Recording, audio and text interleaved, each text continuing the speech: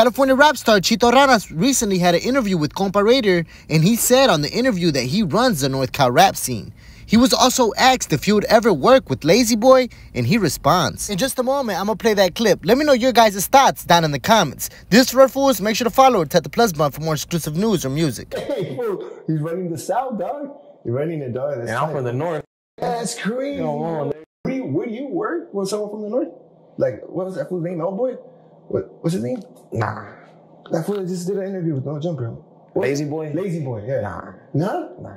You with it? Even if it's Politics, brother. Politics. Politics. Even though it's a P-Street and the pain, you gotta understand in the streets is something different. Oh, it's all different. It's different. so it's like a game.